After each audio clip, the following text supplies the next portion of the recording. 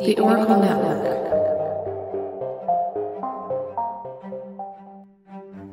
Fact Over 700 people have been killed by the hands of the police just this year alone. I'm Katherine Sheffield, host of the weekly podcast A Few Bad Apples. Each week, I unravel true stories of victims whose lives have been affected by bad apple officers of the law. I bring this relevant conversation into the public spotlight because it's a way to provoke change and reform. Not all officers are bad, and in fact, I highlight a positive story at the end of every episode to balance the spectrum. A Few Bad Apples is available wherever you get your podcasts.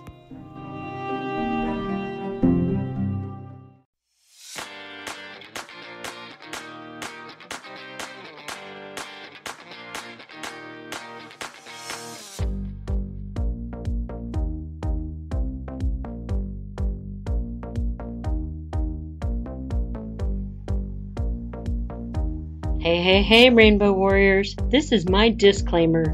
Beyond the Rainbow is a true crime podcast. It's not suitable for young children, maybe not even for some adults. I tend to swear like a sailor, and I'm kind of proud of that. Listener discretion is advised. Hey guys, just a quick disclaimer after my regular disclaimer.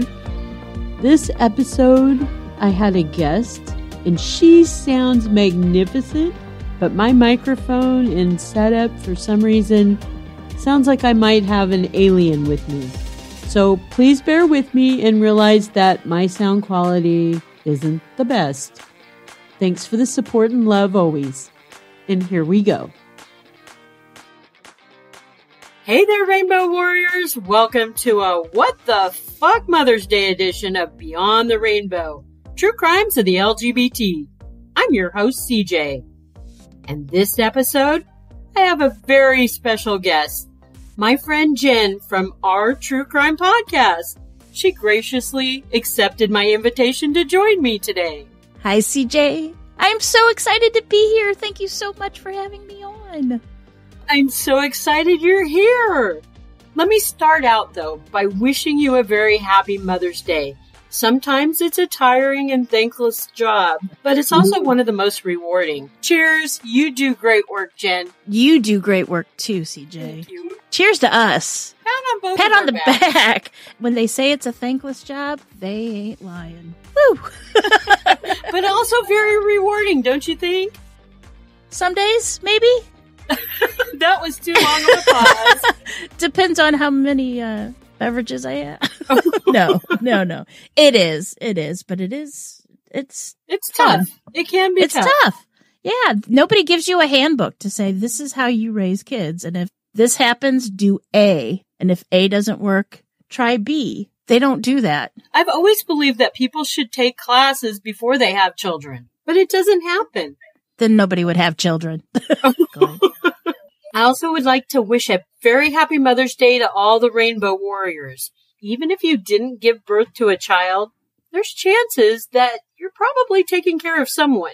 So a very happy Mother's Day to you too. Happy Mother's Day, everyone. I told Jen when I started to research and started writing two stories of lesbian moms that were murdered, I decided I can't do that. It's a Mother's Day episode.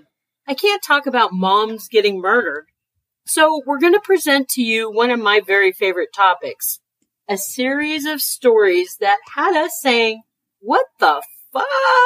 What the fuck is right? The What the Fuck episodes, well, they're a little more lighthearted, even though the stories will contain true crime. So if you're okay with that, Jen, I'm going to go ahead and start off with a story, a story that I covered on Get Vocal. It was a Get Vocal What the Fuck episode, Okay. but it was so fascinating. Well, it was terrible, but it was so fascinating to I me. get it. No, I get it. I wanted to share it in an episode. I think mostly because it's a survivor story. And I, I dig survivor stories. I love those. I can't wait to hear it. Well, it has to do with a trans woman. A trans woman in her 50s was living in Minnesota. She was dealing with rejection and turmoil after being discarded by her family and friends because she was hmm. trans. She she had just went through the surgery and stuff. The whole process, you know, it, I think it plays a little bit with your head. Oh, yeah, I would think it would be mentally and physically just exhausting. Oh, I would think so too. worthwhile, worth totally worthwhile, but just exhausting. So that and all the rejection, she was going through some depression. One day in 2012, she decided to visit one of her favorite kink websites. It was a site for active BDSM participants. On this site, on this, seriously, go. on this site, she met a man named David Rodriguez. And just a side note, her identity has been kept out of all media, probably just to protect her. So for all intents and purposes, we're going to call her Laura. 37 year old David had told Laura that he and his wife were really into some kinky shit, and they'd love it if the trans woman would come visit them. Laura also owned a, she owned a hog. It's a, it was a Harley Davidson. Do they call Harley Davidsons hogs? It got me. I'm not a biker. I don't know. It was a motorcycle. But sure, we're going to go with it. I guess that's all we need to We're know. going to call him a hog. We'll call it a hog. Okay, she had a hog. Well, David said he was interested in maybe purchasing it from Laura. So Laura decided she was going to take the trip from Minnesota to Louisiana where David and his wife Christina live. They lived in Ajax, Louisiana, which is near Shreveport, which is kind of by where I used to live. Mhm. The day that Laura showed up on her Harley Davidson, the couple seemed extremely happy to have her there. They were welcoming and they were kind. A sexual relationship formed quickly. David and Christina even invited Laura to live with them. Laura really didn't have anything in Minnesota to go back for, so she agreed to stay with David and Christina. And eventually, David took Laura's motorcycle and all her cash away from her. He said it was payment for room and board. At first, That doesn't sound cool. no, it's already there's your red flag. Yeah. At first, the sexual acts weren't bad, but soon the role playing escalated into being very abusive. There were no safe words. Laura told the couple that she wanted to leave, and David and Christina wouldn't allow that. They chained Laura with logging chain to different areas around their ah. mobile home, both inside and ah. outside. And then they invited over another friend, a female friend. what friend. the fuck? Right? Because three wasn't enough. They decided to have a No. It's not bridge, no, obviously. They don't need a fourth. no, it's all, All for right. their BDSM kinks. Yes. But everybody needs to be in agreement. I don't think everybody's in agreement. That's poor Laura. No, there was definitely one that Right. wasn't. At first she was, but No, now she's uh-uh. not. She wants to leave. So they invited this friend from Shreveport. Her name was Amber. And Amber was anxious to join the BDSM foursome, because that's what it would be now. Math is hard. Laura was branded by David and Chris. Oh, okay. This, this part, this is really creepy. Laura was branded. That means these mm. fuckers somehow stamped a SKU number on the back of her neck. Ugh. When they took their phone mm-hmm. and scanned the SKU number, Laura registered on a BDSM website as being owned by David and Christina. no mm-hmm. way. She was theirs. Oh, That's just some crazy shit. That's next Wow. level crazy shit. that's, oh no. So she Oh. she was now their property. Two very long years, Laura lived like this on the couple's property. As the couple's property. Not just on the property, but as their property. Laura. On top of performing sexual acts for both of her owners, Laura was assigned to other chores. Oh, and you know, I, I'll get to it again later, but David and Christina also had two children that lived with them. Their children, a 15 year old and a mm. 16 year old. And they were witness to all of this? I could never find what they thought about all of it, but they were there for it because some of the chores was cleaning up after the kids. She had to keep the house clean, and not just after the kids, but after everyone. She had to make and serve meals to everyone. She had to tend to the animals. She installed a swimming pool. I can just imagine poor things out there digging hole for a swimming pool for them all. She had to dig trenches and she had to remove fallen trees. All this while she was while she was chained up and abused. Ugh. I wonder they had to have told the kids that she was a maid. They or a house. How do you explain that away? That's true. She was always in chains. Yeah. They didn't want her running. Well, she was always in chains after she asked to leave. Oh God, unreal. If Laura failed to complete any of her chores, she was beaten harshly. And they would carve letters with a knife into her ass. She'd also be tased. Human urine would be thrown on her. People are sick. And she would also get chained outside in the woods, while they only gave her one meal a day and a limited amount of water. If she complained that she was still thirsty, they gave her urine to drink. Ugh. And They that's all she dehumanized her. Yeah, They totally dehumanized her. That's just disgusting. Bastards. Punishment, it would go on for a few days until she could behave herself. Mm. When she was behaving mm. herself, she was made to sleep in a three foot by five foot wooden box at the foot of David and Christina's bed. She'd been disobedient for the last couple days of her stay, or rather her kidnapping with David and mm. Christina. It wasn't much of a stay. She asked again to leave, so she was in trouble. And as punishment this time, she was forced to live outside in a small wooden shed on the property. Which I tell you, Jen, to me, it'd be a hell of a lot better than a three by five box at the foot of the captor's bed. I agree with that. I mean, she's still captive, but still. I'm totally. I know this is called what the fuck, but it, this is like Jen's in total shock. I told you this, this story just intrigued me so much.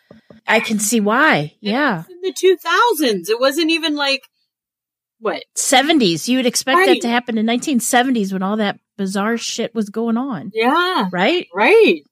That's crazy. Or seemed it was that, that's when it all happened, but obviously not. And here we are. She was asked to leave again, she was out there in that, that wooden shed and she was chained with a 35 foot logging chain, one end to her around her neck and the other hmm. end was on a bucket that was filled with cement, dried cement.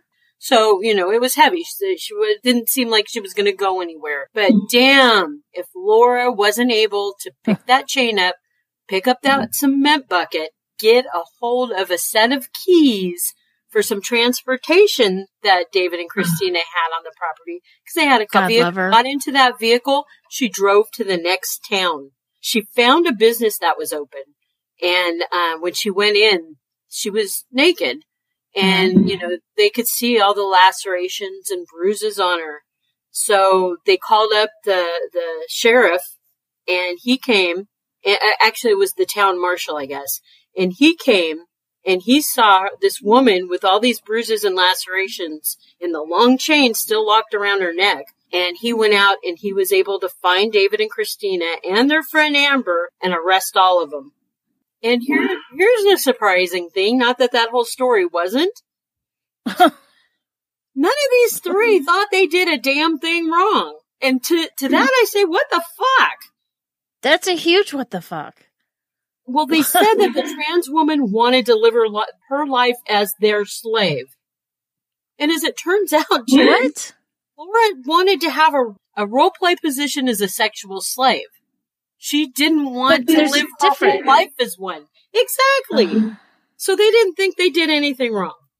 but she, she ended up being a servant and a slave to these people every second of every day for two years. That is unreal. It, it totally is. And what began as a consensual sexual thing swiftly moved to break all kinds of boundaries. David and Christina were arrested and they were charged with human trafficking. They were charged with second degree kidnapping and Mhm. second degree assault. Amber, she was only charged with second degree assault. And I searched and I searched. I really did search, Jen. Right. Have you searched? No, no, I haven't. Not for this case, but yes, I have searched high and low. Well, I did enough searching for all of us. Ugh. well, and thank you. Very welcome. But guess what? My search came up empty. I couldn't, I could not find out what the couple was sentenced to. It seemed Really? though that their friend Amber was out. Yeah. Amber was out because she was all over Facebook with a new account. Of course she was. That's where they all go, isn't it? Go to Yeah, Facebook. new, new color hairdo. Uh, Mhm. looked like she lost weight. Looking good, Amber. Still trash, Amber. You can change that color hair anytime, but you're still you know trash. that's true. Wow. So anyway, oh, David and Christina's teenage kids, Mhm.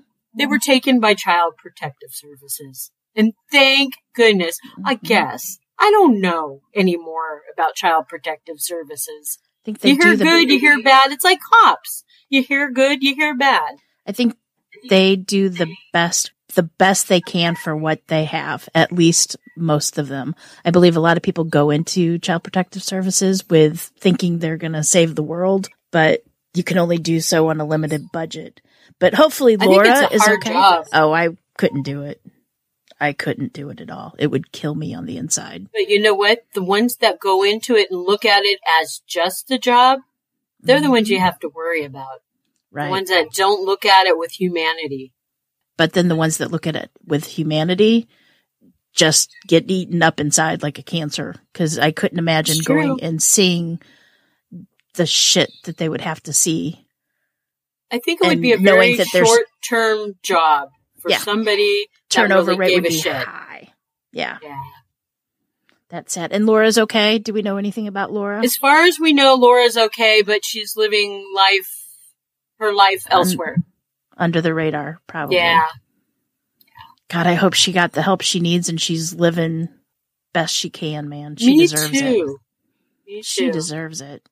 Isn't beautiful just spirit. a wild story? I mean, that's That's- Unreal. you say to- you guys say it all the time on your podcast.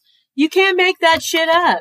You can't make that shit up. And for these people not to think they did anything wrong, are you kidding me? Really? I mean, nah. That's delusional right there. Utterly delusional. Crazy story. You want me to read one of mine? Yeah, let's hear one of yours. This starts the day before Halloween in 2019. Ooh. Mm. A 54 year old man named Stanley Lawton and his 20 year old, or no, and his 22 year old lesbian daughter, Shania, allegedly kidnapped a woman whose identity has not been publicly mentioned. That bitch was trying to lie about her age, Jen. I don't blame her.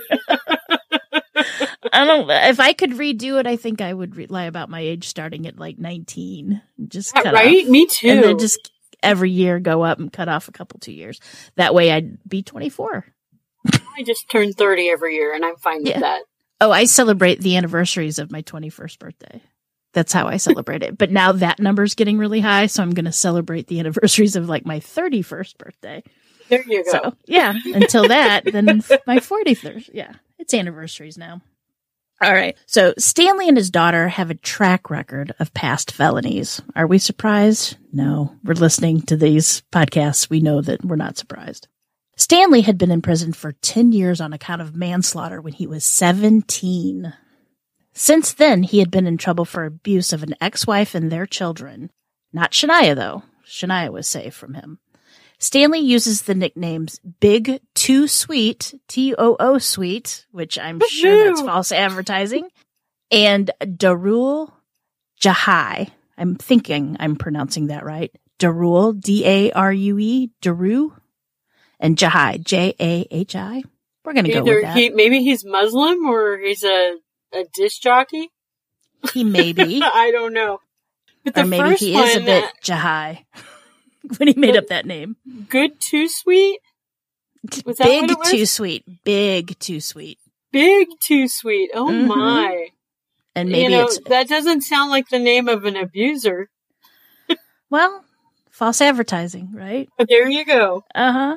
Stanley lives in Palmdale, California. That's where my co host used to live.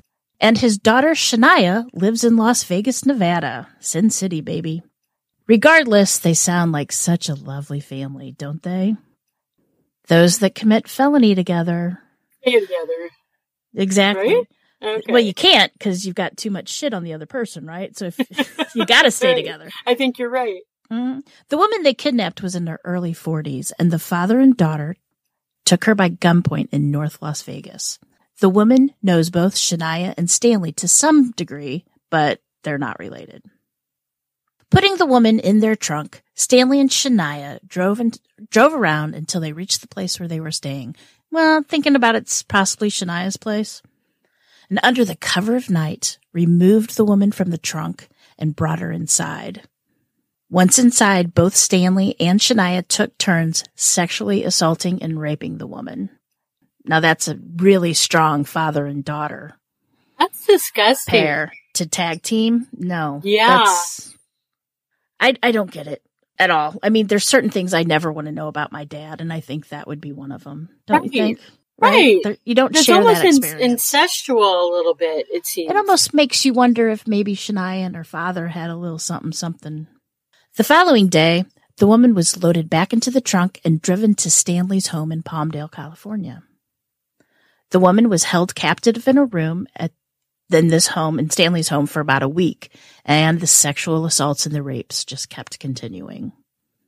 One day, she was forced outside to take the father and daughter to an ATM of the bank, the bank where she worked, or the bank where she, her money was. They forced her to go to her ATM and withdraw money to give to them.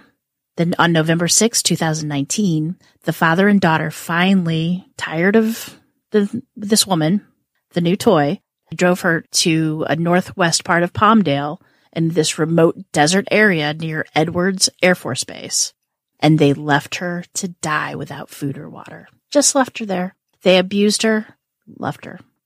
The woman was found disoriented, and of course, she was cold and extremely dehydrated by Edwards um, Air Force Base personnel. The military found her. No one was sure how long she was out there in the desert before she was discovered. And then she was taken to the hospital and treated and released. So she was in bad shape, but thankfully she survived. And Stanley and Shania were arrested. Woohoo! Around that same month, November 2019.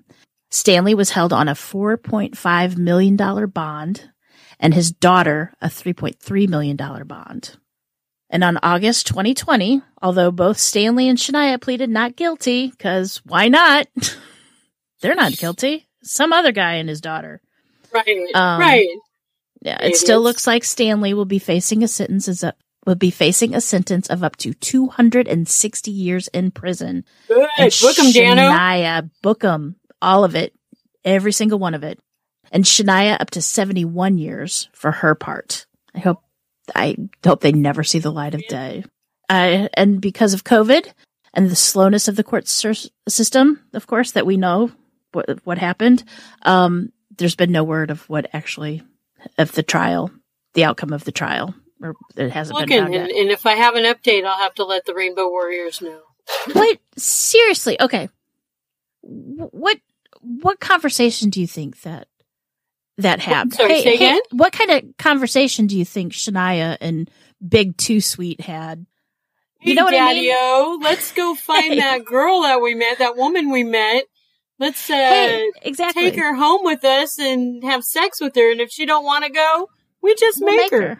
It's like, hey, Dad, you know what? I want an ice cream. Well, you know what? I want that forty-year-old. Let's get her. I, you know, That's yeah. and then to go along with it no i wonder if shania not that this is an excuse but i wonder if he he Or he oh, Abused he her? abused her.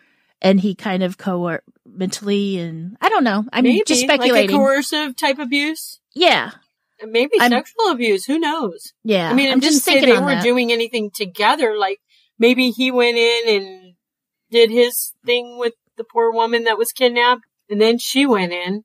I don't know. I just i don't it's know it's, just a little too gross. close, and to mix your your family member with your sexual business, that's just a little weird to me. no what the fuck story seriously come on Big do better people do better Well, for my last part of it, mm-hmm. for my last part of the What the Fuck Mother's Day edition, I have another favorite part that I want to do. And Okay. what it is, is I want to expose anti, anti-gay hypocrites. I woohoo said anti. anti Ante. auntie Anti and uncle. Shantae auntie Woohoo. exactly. Let's do it. I like that too. Fuck them. Let me start off with former Alabama Attorney General, Republican, of course, Troy King. Boo. He tried to, uh, boo. He tried to outlaw homosexuality in Alabama. he was even trying to make his way into everyone's bedroom, in particular, their nightstands, by outlawing sex toys. Troy had always been a good old boy, a dedicated. Obviously verbal- not. he was. He was a dedicated verbal gay basher. And then one day in 2008, his wife came home to find Troy sexually engaged with his male assistant in their marriage bed. It appeared- Ooh. Troy did enjoy a boy after all. Troy's boy toy. Wow. Troy's boy toy. And then trying to get rid of everyone else's toys. Fuck you, Troy. I need my some toy. deep, deep self hatred there, isn't that? You know what though? Oh. I find that in almost all these hypocrite cases. Mhm. That, That- that's totally it. They're so in public anti-gay, anti-LGBTQ, but yet when it comes to their personal lives, that sucker, he's as gay as everyone else. They're ashamed know? of something that's not even anything to be ashamed of. I don't. Right. I just don't- think people are more sexually fluid than we we think, and especially these these.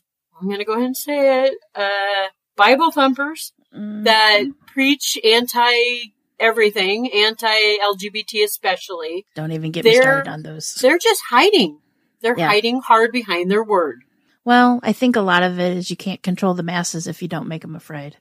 So you've got to make them afraid. Well, maybe it is fear that they're writing. You on. know, I. well, they're scared. That's why Mhm. they're scared to admit their own sexuality. I got another one for you. Okay. Ralph Shortey. That's his last name, Shortey. Ralph Shortey was an Oklahoma senator and a Trump campaign chairman. he was busted for soliciting sex from a 17 year old male sex worker. And of course, Ralph Shortey was an anti-gay Republican who voted in favor of businesses refusing to serve LGBTQ members. Hmm. Shorty. Wait, short, shorty, short weenie, whatever you want to call him. He was arrested inside an Oklahoma City motel room with the boy. Police were acting on a tip that they received about an underage boy with a grown ass man. What the fuck?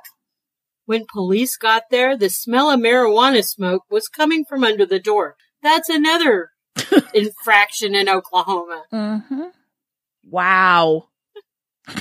Not not only did Ralph Shortey resign as senator, his wife divorced his ass, and he was sentenced to 15 years in prison. Hmm, Not sorry. The teen, huh? I said, I'm not sorry about that at all. Oh, I'm not sorry about it either. The teen's computer was seized and looked through. It showed messages exchanged between Shortey and the teen, where Ralph referred to the teen as baby boy and offered him money in exchange for sex acts. Okay, I that's can't deny it was there in writing, Ralph. that's gross that he, the kid it was a kid and he, he called him baby boy. So that's gross. That's that's sex trafficking right there, dude. Thank you. Got another one for you. Greg Davis, a Republican. He was mayor of Mississippi town called Southaven. There's He a theme to these guys, aren't there? There's Huh? like one main theme that runs across this, isn't The there? Republican. Yeah. They're Yeah. Trump supporters. Yeah. Uh, they're in. They live in the South. There's a couple main themes here. Mhm. I oh no, I haven't got to that one yet. But there's another one coming up. I think. And he's from Washington, the state. But Greg Davis was a Republican mayor of Mississippi town called Southaven. He was on his fourth term as mayor. So those people were just totally hoodwinked by this guy. Fourth term, when the state auditors found that the mayor had purchased, wasn't a whole lot, but it was $67 worth of gay sex toys from a gay sex shop. Well, that could just be one And this, item. this, he did this in Canada. That's how he got away with it. But this idiot made the taxpayers front the bill. oh, After he was exposed, he came out as gay. Saying, oh, I always knew I was gay. But But I just wanted to hide it from everybody and have them pay for it or pay for my toys. my woohoos. Wish I could get somebody to pay for mine. right? That shit ain't cheap. That's what I'm like. Sixty-seven dollars. That could be one thing that they got half price, right? Adam A and rabbit. exactly, or anything.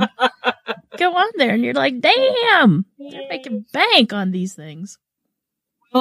Here we go to the, the Washington State one. James E. West. Now I'm not going to say too much about him because the man has died.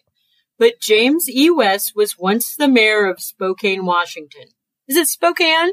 I don't know. Spokane or Spokane? I think it's Spokane. It's apples. He was once the mayor of Spokane, Washington. I forgot to, to Google pronunciation. He was a conservative Republican, of course, because I picked Mhm. all Republican stories. He was also a military veteran and a sheriff at one time. James was a staunch supporter of banning the LGBTQ from working at schools and daycares. Now, if he would have came to Sacramento and he would have pulled that shit, I would have been out of a career. I that don't just get that. I don't get that. No, it's wrong. It is wrong, And, and it I goes back to, to people with their small ways of thinking that all LGBT must be child pedophiles. pedophiles. Yeah. Right. Fuck Mhm. that. James was busted seeking men for sex on the website gay.com. And after that, he wasn't reelected. I Hmm. don't know why. I have no idea why. And I don't want to leave any woman off of this list. Everybody should be one for ya. represented, right? Gotta represent. Yeah. Catherine Lehman was an attorney that was instrumental in drafting the DOMA. Do you know what a DOMA is? I do not know what a DOMA is. I didn't either, so I had to look it up. A DOMA is Defense of Marriage Act, and it came about during Bill Clinton's presidency. Thanks, Bill. It stated that marriage is only recognized Mm. if it consists of one man and one woman. And this was some kind of federal purpose. So it's But just somebody still. talking off their ass, talking out of Right. their ass. And Bill Yeah. Clinton with his cigar, he had no room to talk. Anyway, a few years later, this woman, Catherine Lehman, she came out as a lesbian and she started to fight against the bill that she helped write. she called her coming out an epiphany. um, no bitch, you were born that way. For supposedly well-educated, intelligent people, Jen, what a bunch of idiots, huh? I agree. Totally. 100%. I, you know what? And in the back of my head, I kind of think, God, I feel really sorry for them because they couldn't be themselves. They weren't allowing themselves to be themselves and be happy. But then they do all this stuff to self sabotage and to hurt other people in the whole process. So fuck them.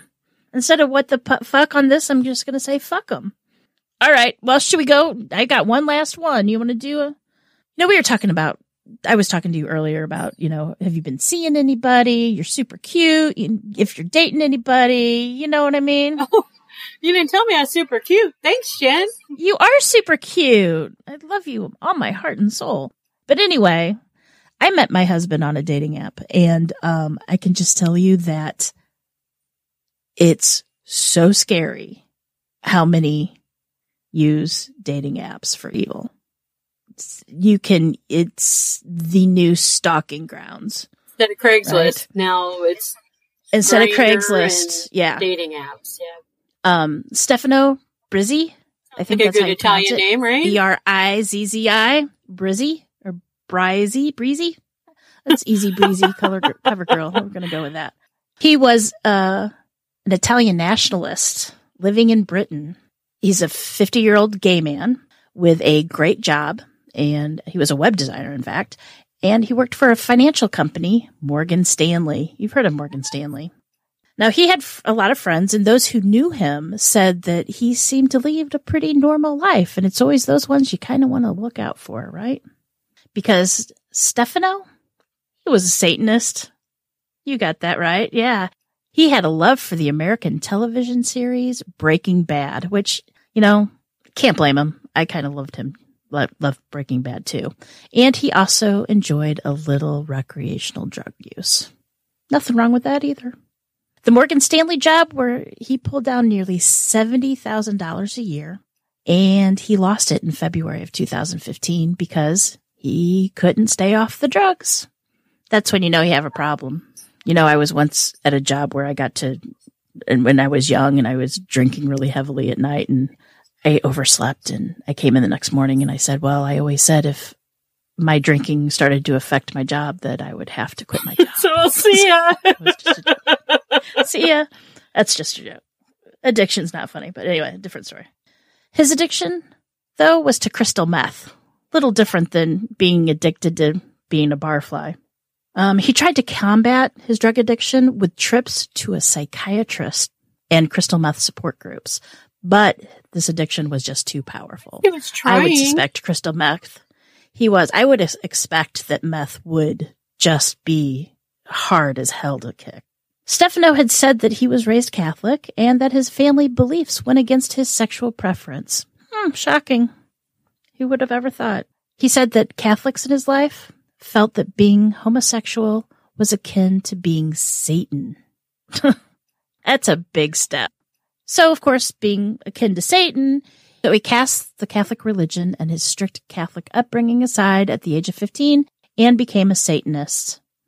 He had a satanic Bible downloaded on his computer and a satanic journal where he wrote letters to the devil. Could you imagine? Dear devil.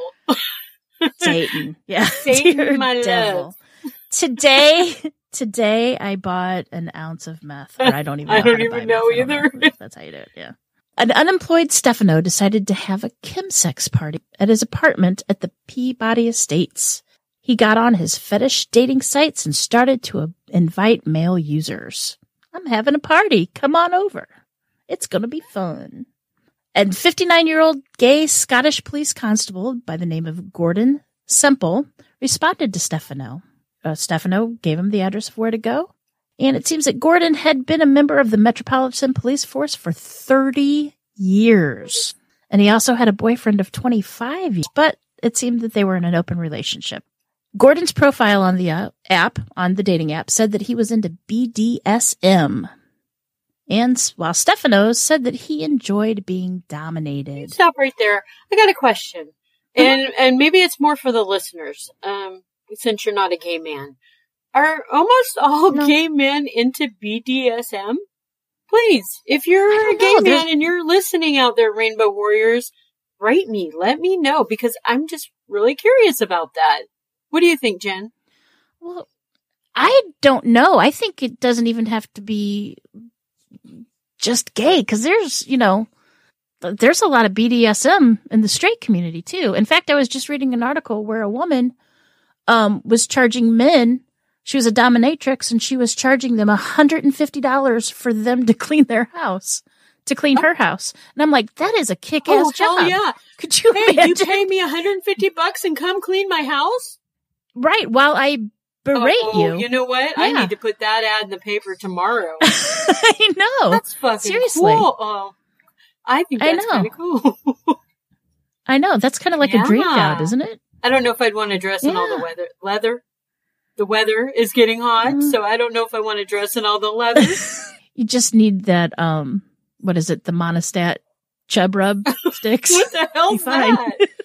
Oh, you don't know what it is? It's like you put it in between your thighs so they don't rub together and you don't chafe. so you just like put that all over so you don't chafe in your Oh leather my god, no. for your. For $150 an hour? Shit, yeah. Why not? Yeah, I I'd be happy. Th- They're the ones that are going to have to look at me. You motherfucker, get on They're the ones that have to look at me. I know. They're the ones that have to look. I don't missed care. the spot, Pay me the money. pig. Lick it. Thank you. Exactly. Give me my money. Where's my two dollars? Yeah. Seriously. I mean, that's awesome for her, That's but that's job. horrible. Well, I Well, they like want to be it though. I mean, okay. if they are there on their own free Yeah. will, why That's the hell true. not? They're adults. If they're adults and that's what they want. When Gordon arrived to Stefano's flat, the two got busy partaking in the chemsex drugs. Now, chemsex drugs are usually one of three different drugs taken to increase your sexual appetite, I guess, or your sexual pleasures, desire, while decreasing your inhibitions. Um, the three are methamphetamine, like crystal meth and crank. Uh, these are uppers and generally increase your heart rate and blood pressure. GBH or GBL, sometimes called Gina, Jeebs or liquid ep- liquid ecstasy. I never knew it was called Jeeba, Gina before. That seems weird. You ever done any of those? Be honest, Jen. Um, I have not done. No. Actually, a long time ago, twice, I've tried crank, Oh yeah, and it had to be like back in the eighties, eighties, nineties. probably eighty, late I don't eighties, early remember when. It was a long time ago. It, it had to be the nineties because I was with someone that I was with for a long time, um, and we got together in the nineties. But I remember the the last time I took it, would never take it again. I was so euphoric. Oh, I bet. I stayed up all night long. We were camping and I stayed up all night long fishing and there were bats flying around. And normally I think I'd be a little freaked out by Mhm. bats because I'm afraid they would fly in my hair or something. And I just would look at them and go, Oh, they're so beautiful. I would be trying to catch them. I them. was just so happy. I was so in love Mhm. No, until I got off the drug. yeah, exactly. I the only the hardest thing I ever did was mushrooms. That's it. Yeah, I've never done and those. I've only did did those once, and that was probably something that I would have done more if given the chance. were the, were the colors pretty cool? Just the whole happy wave for me, and just I don't know. Um, for me, uh, I was very careful not to look at any kind of images of myself because I would get too down on myself. But for me, it just was like a nice little wave and it made me happy and Mickey Mouse was with me on the walls and you know, I mean, it was just a happy what I remember it and like uh food tasted good. Like I could taste the salt and the sugar and it, but you know, it was Everything was intense, everything was right? really intense and yeah, Huh. but no, now it doesn't. Yeah, I've only heard about mushroom trips. I've never experienced one or acid trips too. Yeah. Maybe it's acid that's real colorful. Maybe I don't. I didn't I get don't colorful. even know. I don't know that much about drugs. I guess that's a good yeah, thing. and then besides edibles, which is now it's that isn't. Do we even consider that a drug anymore? But no, I never really did anything hard. Uh, all right, so let's get back because I skipped a thing here. So, um, the three things. GHB or GBL, sometimes called Gina, Jeebs, or liquid ecstasy. Um, they will give a user a feeling of euphoria and take away any in- inhibitions. Um, the other one is methadone, method, methadrone. Sorry, I put the R anyway. Methadrone, which is often called drone or meow meow, which kills me. I have a friend I call Meow Meow. Meow meow. Um, is it methadrone? Are you going to tell me? No, her name's Cat. Oh, oh, that's cute. yeah, okay. Now, meow meow or methadrone is a stimulant, and they make someone feel aroused and euphoric. So, too much of the GBH or GBL, like I said earlier, um, it can be lethal, as we saw with the Grindr serial killer Stephen Port. And if you guys want to know more about Stephen Port, our little good friend or our good friend CJ here, she knows all about him. She can fill you in. I did an episode. There you go. Steven. There you go. One of my serial killer episodes Love serial killers. way back when. Not really into serial killers. All right. The intercom on Stefano's wall by his entrance door buzzed. Stefano, of course, was busy. Hello. Um, but then the intercom buzzed again. Stefano left what he was doing and he went to answer the door. It was another guest for his little chemsex party. Stefano replied to the man, quote, Oh, we have a situation here. Someone took ill. The party has been canceled. Sorry. Mm-hmm. Wink, wink, nudge, nudge. The man downstairs, who was there for the chemsex orgy party, disappointedly turned and left. Stefano had work to do because someone had taken ill. Kinda, sorta. Stefano had been strangling Gordon and was pulled out when he had to answer the intercom. But shrugging the annoyance aside, Stefano went back to his business at hand, which was murdering our poor friend Gordon. In the days following Gordon's murder, Stefano is seen on CCTV at a home improvement store purchasing saws, metal sheeting, a large plastic tub, acid, and cleaning supplies. I wonder what he could be up to. Stefano boiled parts of Gordon and attempted to eat those parts with a chopstick. A chopstick. I can't even use a chopstick with real food, let alone a human body. My daughter eats chopsticks or eats jello with chopsticks, but still, that's just. Uh, well, I'd disgusting. rather have jello than a Than Gordon. Poor Gordon. Yeah, right? uh, other parts Stefano disposed of in the Thames River, not too far away from his flat. Still, other parts were thrown out of the apartment complex into the trash bins, very much like uh, Dennis Nilsen, it seems. Ah, And also, just a little side note in London or in England, around that area, uh, CCTVs are everywhere because it's like one of the, it's the finance capital of the world. Just FYI. So there's I don't like that, even though it is Exactly. Big Brother-ish. It's kind of good for safety. they catch security. everything. It seems. Yep. Seriously. That's how uh, Stephen Port got nailed too, Mhm. and um, Potato Head, Colin Ireland yeah. also. They wouldn't have caught him otherwise. I don't think. Exactly. There was such a stench coming from around Stefano's apartment seven days after Gordon's murder that a tenant reported it to the police.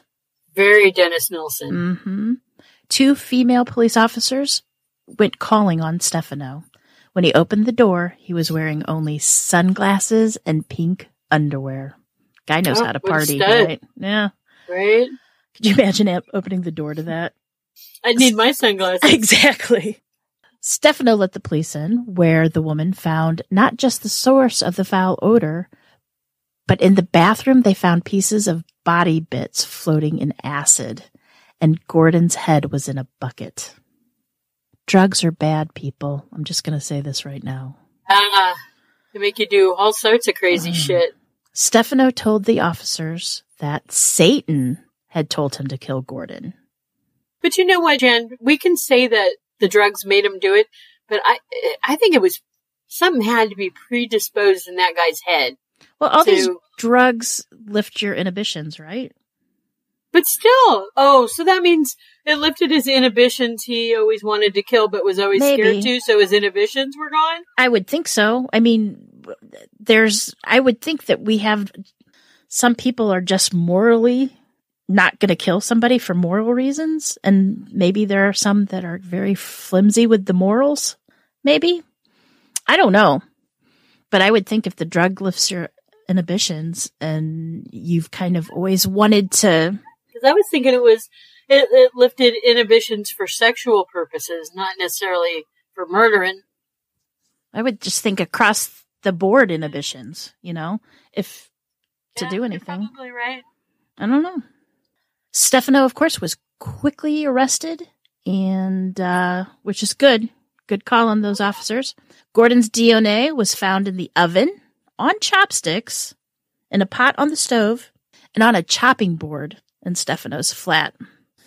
At trial, Stefano changed up his story, claiming that during a bondage session, a leash around Gordon's neck had slipped and he was accidentally killed. When their stories change, you know that they're lying because they can't have multiple You would think stories so. about multiple things that happen. I mean, No. pick your story, stick with it, right? Otherwise, what the fuck are you doing? You would think so, but I'm sure maybe he's Satan made him do it. He basically just admitted that he killed somebody, so he's gonna change it to try to get. Apparently, at some point, he told someone, "Oh yeah, the buzzer on the intercom rang. I had to go answer it, and then I went back to killing Gordon. Otherwise, we wouldn't know Right. about it." Stick to your story, dude. um, either way, get the fuck Yeah. out. Anyway, anyway, CCTV footage, woohoo, of Stefano at the home improvement store showed Stefano try, uh, trying the bucket on over his own head. what a bucket head! Oh he wanted to see if it fit. Let's see if it'll fit Gordon. Ooh, I could see him on the CCTV. oh, that's got to go in an episode of Stupid Criminals or something. I mean, I don't even try on clothes in stores anymore, and here he is trying to bucket on over his head. Bucket. Whatever. Uh, he, like I said, he wanted to make sure that it, the bucket would fit a human head. Stefano also told the jurors that he didn't want to make the same mistakes the characters in one episode had made in Breaking Bad. He continued saying that they just poured the acid directly in the tub when trying to dissolve the body, but it eroded the tub away. Remember that? No, I don't, because I never watched it. But you know what? did they ever go to the home improvement store and put a bucket on their head? no. Jesse may have off camera, but Walter wouldn't have. Jesse might have. It was Jesse's, the whole thing, if I'm not mistaken, it was Jesse's bathtub that the body fell through. Oh my goodness. But at least he had looked up some kind of reference of how to do it, I guess. I don't know. Uh, that was why Stefano bought the sheet of steel for the tub. Uh, the prosecution asked Stefano if he thought he was living out an episode of Breaking Bad, and Stefano said he did consider it. He wasn't without any kind of rationality there. He believed he was inspired by the idea. Had he actually took the time to think about it, he would have been much more organized about it. Do you think the judge was trying to um, determine if Stefano was of sound mind? Or I would think was... so. Huh? Druggy? I would think that he was trying or to figure out if he was totally if he lived whacked. in reality, the real world, or if he lived in a TV land. Yeah, or it could have just been a what the fuck are you doing? Did you really think you could do this like they do on TV type thing? Maybe it was a rhetorical type question. I don't know. Your guess is as good as mine. Sounded to me like he was trying to weed out if this guy was um, competent enough to Possibly. stand trial. It's a prosecutor. I don't know. Right? Yeah, the prosecutor. Yeah. What, wasn't it the judge that the prosecutor asked, asked Stefano if he thought he was living out. Mm-hmm. Oh, okay. The jury found Stefano guilty of murder and he was sentenced to life in prison in 2016. The following year in February, Stefano was found dead in, by hanging in his jail cell. So he killed himself. I wonder if he used the bucket. Bad taste, sorry. Oh, My oh, apologies boy. to anyone. Yeah, seriously. What the fuck? What the fuck? What the fuck? Could you imagine? Poor no. Gordon, all he just he just wanted a night of fun. He wanted to get away from the other and just no. have a little BDSM and he got more than he bargained for. More than he bargained for. He probably wanted to be choked for just a little bit and not a lot. Yeah.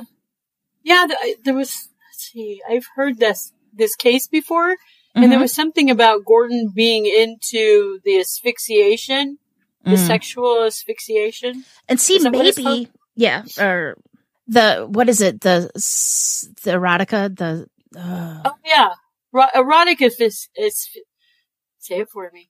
Erotic asphyxiation. asphyxiation. Yeah. Yes. He could have been.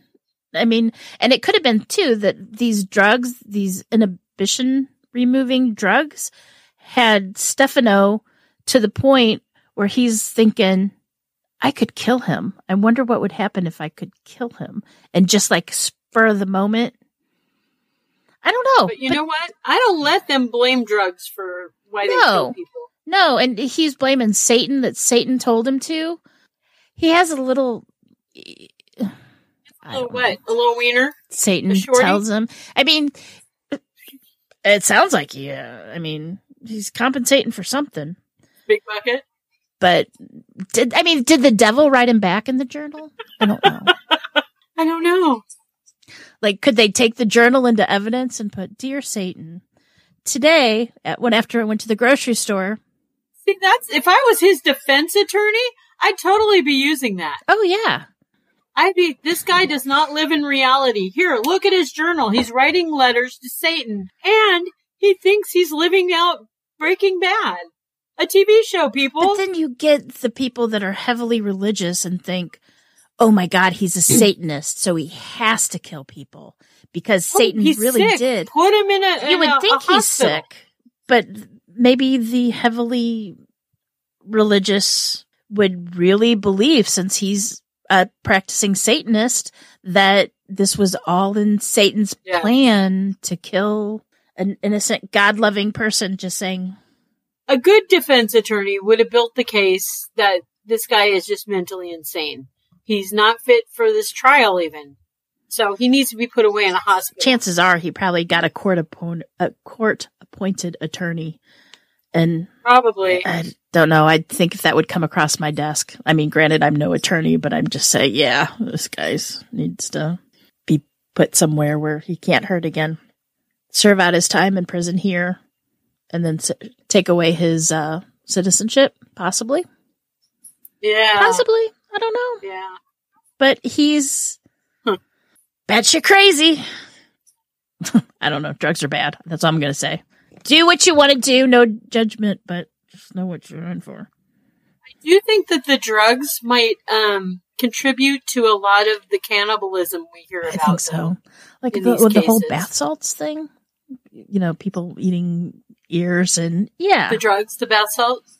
Not, not, not what you get at Bath and Body Works. Bath and Exactly. Body Works. No, the, yeah. I mean, you always hear about that. You know, people stripping down naked, but that's because it makes you hot. And then you hear the biting. Yeah, You're trying to eat people. Yeah. it's all bizarre. I don't know, but these are all what the fucks. Certainly, what the fucks. They're all a bunch of what the fucks. Oh, yeah. No doubt about that. I do want to thank you for hanging out with me I want tonight. to thank you. I've had so much fun. I hope I didn't bore your audience. Oh, hell no. Could you please tell the Warriors a little bit about your show? I uh, am a co-host with my very best friend. We've been best friends for almost 40 years. Well, besides, I thought I was your bestie. you are my best fe- bestie. Cam's my bestie of almost 40 years. We met when we were um, 12. And about three years ago, we went to CrimeCon and just decided that what the hell, we're going to do a podcast because we saw some of the podcasters out there and we're like, shit, if they can do it, we know we can. And um, turns out we can, but we're not very good at it at the beginning. No, you but at the beginning we had problems with audio. So if you listen to our very first episodes, uh, they're not That's good. true. Cam had to get out of the Yeah, closet. exactly. Well, she's back in the closet now. Figuratively. Yeah. She's She she's back in the closet now. We were what we were. Oh, well, it sounds better. It, well, um, we were recording in my husband's office with all the Hot Wheels. We were recording together, and so our mics were picking up each other. It was awful. But now she's in the closet in her home, and I'm s- That's what it was. She needed to she go needed into to the go. closet. She's much happier in the closet. Um, no, but um, and so I'm still here. So and plus we've gotten an editor. We splurged. Um, and Nico's made our show much better. But it's the name of our podcast is Our True Crime Podcast. Uh, we do new episodes every Wednesday. Always drops at four o'clock Central Time. down to an hour even. Yeah, The time. yeah. No, it's Yeah, I can't do that. My my episodes drop when the wind blows. Yeah. no. We're uh, four p.m. on Wednesdays, four p.m. Central. I say I can't do that to myself. That puts so much pressure on me. We record every Saturday or every Sunday. We normally try to record at least two, sometimes due to family problems or other things. Um, we only get one, but otherwise we will bring you a, an episode of a murder that you may not have heard, but we try to stay away from your Gacy's, your, all that kind of stuff. Um, because a lot of people already know about that. So we want to do, we like to do the odd stuff. Right. Every once in a while, I hit one that somebody has heard about.